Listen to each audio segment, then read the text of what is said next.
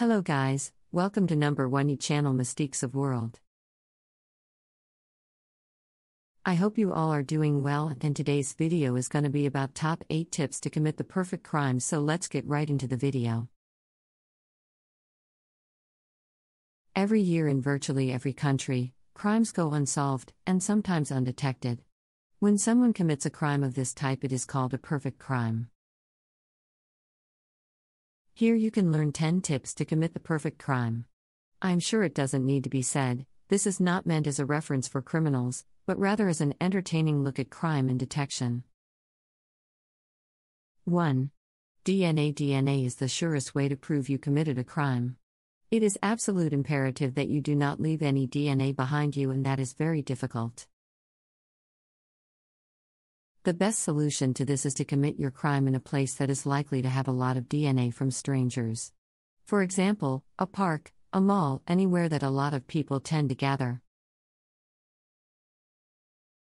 Finding your DNA will be like finding a needle in a haystack. 2. Relationship. The large number of crimes committed are committed by someone close to the victim. The police know this well and they know who to question. Your best bet here is to pick someone as random as the victim. This is especially true if murder is your crime of choice. Don't be tempted to commit your crime against someone you only know in passing, it must be a total stranger. 3. Proximity. You don't want to travel so far that you can be connected because you took a trip, just far enough that you are outside of the main area of interest to the police. You also don't want to be on the road for hours before the crime as you may become tired, or after the crime as you may still be on the streets when the big investigation begins. 4. Type of crime. Chose your crime carefully? For example, you are almost certain to get caught if you try to rob a bank. Chose a crime that can be committed in the early hours of the morning or that can be done very discreetly during the daytime. 5. Evidence. Most criminals are caught because they tried to hide the crime, what they should have been doing is trying to hide any connection they have to the crime. It doesn't matter if the police know the crime happened. If your crime involves a gun or weapon of some kind, use it and drop it.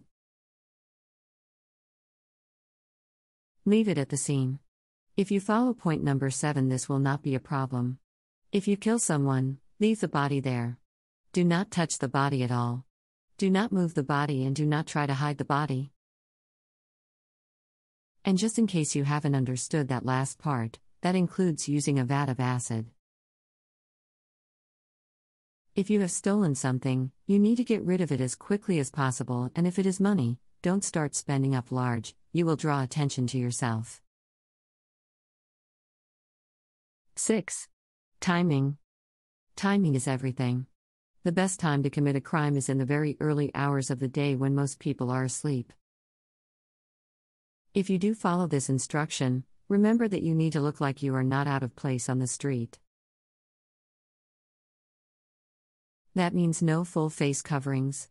The selected time is important when you come to purchase your tools. 7.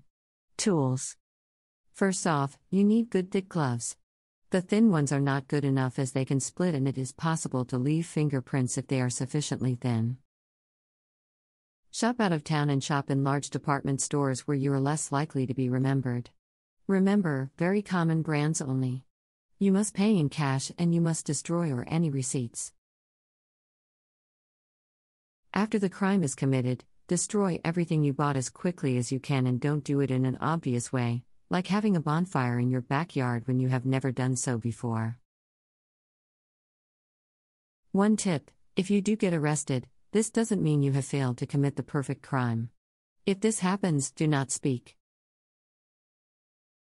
The police need evidence to convict you, if you have done the job right, there won't be any. Did you ever commit any crime? Tell me in comments section. Thanks for watching our videos. Rush to complete the chant by clicking like, subscribe and share button.